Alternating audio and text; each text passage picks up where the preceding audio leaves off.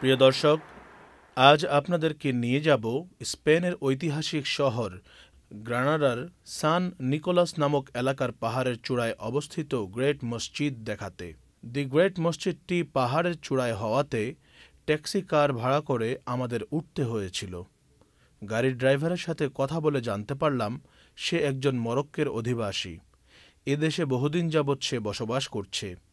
আল্লাহ তালা পবিত্র কোরআনে পাকের সাদ করেন। أعوذ بالله من الشيطان الرجيم.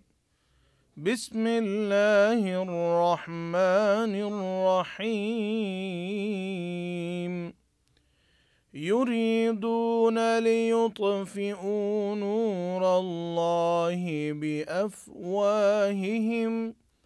والله متم نوره ولو كره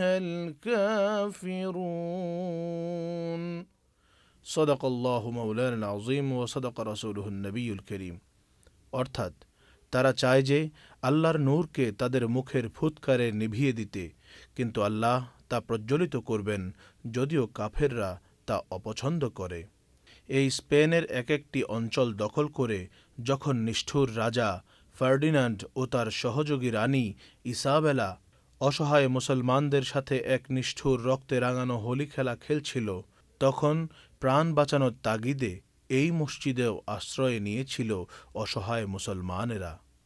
কিন্তু বিশ্বাসঘাতকতার সর্বোচ্চ নজির দেখিয়েছিল রানী ইসাবেলার বাহিনী। মসজিদে এবং জাহাজে অবস্থান করলে তাদেরকে দয়া দেখানো হবে বলা হয়েছিল। কিন্তু যখনই মুসলমানরা সরল মনে প্রাণ বাঁচানোর প্রেরণায় মসজিদগুলোতে আশ্রয় নেয়, তখনই নারকীয়ভাবে ফার্ডিনান্ডের সৈন্যরা সেসব লোকভর্তি মসজিদে আগুন লাগিয়ে দেয় এবং জাহাজে আশ্রয় নেয়া মানুষগুলোকে জাহাজের তলা ফুটো করে ডুবিয়ে মারে। প্রিয় দর্শক, এই মসজিদটি সেসব অগ্নিদগ্ধ মসজিদগুলোর মধ্যে অন্যতম কালের সাক্ষী হয়ে আজও দাঁড়িয়ে আছে। মসজিদটি যদিও দেখতে নতুন, কিন্তু এর ভিত্তি অত্যন্ত পুরনো। অনেকে বলেন, সেই দিনটি ছিল পয়লা এপ্রিল, কিন্তু দিনটি নিয়ে যদিও মতবিরোধ রয়েছে, তবে ঘটনা সত্য। আমরা সন্ধ্যায় মসজিদটিতে প্রবেশ করলেও বৈদ্যুতিক বাতিতে ঝলমল করছিল এর ভেতর এবং বাইরের অংশগুলো। দীর্ঘ পাঁচশো বছরেরও বেশি সময় বন্ধ থাকার পর বর্তমান সময়ে স্পেনিশ মুসলমানগণের দাবির কারণে এবং রাজনৈতিক ভাবমূর্তি রক্ষা করার জন্য সরকার এই মসজিদটি পুনর্নির্মাণ করার অনুমতি দেয়। দু হাজার তিন সালের জুলাই মাসে এই মসজিদটি পুনর্নির্মাণের কাজ শেষ হয় এবং স্পেনের মাটিতে দীর্ঘ পাঁচ শত বছরেরও বেশি সময় পরে আবারও ধ্বনিত হয় মোয়াজ্জিনের সুরে, আশহাদু আল্লাহ ইলাহা ইল্লাল্লাহ। আশহাদু আন্না মুহাম্মদ রসুল্লাহ এর নির্মাতারা বলেন, এই মসজিদটি ইউরোপের মাটিতে ইসলামের পুনর্জাগরণের একটি চিহ্ন। কিন্তু এর পরেও স্প্যানিশদের অন্তরে শান্তি ছিল না, কারণ একটি সময় শত মসজিদের মিনার হতে আজানের সুর ভেসে আসত, কিন্তু অধিকাংশ মসজিদই এখন গির্জায় রূপ নিয়েছে। যদিও সময়ের পরিক্রমা চলছে কিন্তু স্প্যানিশ মুসলমানদের মনে আজও সেই গ্লানি মুছে যায়নি। সাথে সাথে পশ্চিমা দখলদার গোষ্ঠীর মনে আজও তাদের পূর্বপুরুষদের অহমিকা, দাম্ভিকতা ও স্বৈরচারিতার ডঙ্কা বাজে। আমরাও এই মসজিদে দুরাকাত নামাজ পড়ে সেখানকার মুসলমানদের জন্য দোয়া করলাম।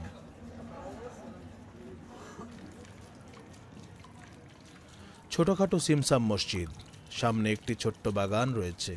এবং একটি সাদা মার্বেল পাথরের ফোয়ারা রয়েছে।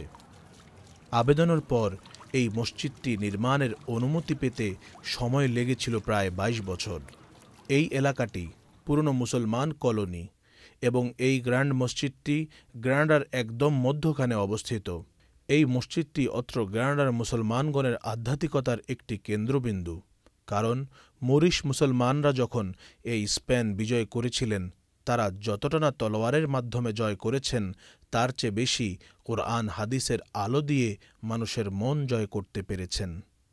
এই মসজিদ নীরব ভাষায় এটিই বলতে চায় যে, স্পেনের মুসলমানরা নতুন জাতি নয়, আজানের ধ্বনি নতুন কোনো সুর নয়, বরং এগুলো হচ্ছে এক সময়ের মুসলমানদের হারিয়ে যাওয়া সেই ইতিহাসের অংশ।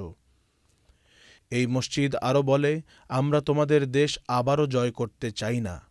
আমরা এটাই বলতে চাই যে, তোমরা স্প্যানিশ হিসাবে তোমাদের যতটুকু অধিকার আছে, ঠিক ততটুকু অধিকার আমাদেরও আছে একজন মুসলিম স্প্যানিশ হিসাবে। প্রিয় দর্শক, অদূরে আলহামরা প্রাসাদের দিকে তাকিয়ে ইতিহাসের পাতায় হারিয়ে যাই আল্লামা ইকবালের সুরে। তিনি বলেন, চীন ও আরব তো আমাদেরই, হিন্দুস্তানও আমাদের। আমরা মুসলমান, সারা বিশ্ব হচ্ছে আমাদের ভূমি। হে স্পেনের বাগান সেদিনের কথা কি তোমার মনে আছে? তোমারই ফুলের ডালিতে আশার আলো ছিল আমাদের। প্রিয় দর্শক, সেই আশার আলোয় আমরা আজও আলোকিত হতে চাই। আল্লাহ রাবুল আলমিন আমাদের সেই আশা পূরণ করুন। আমিন।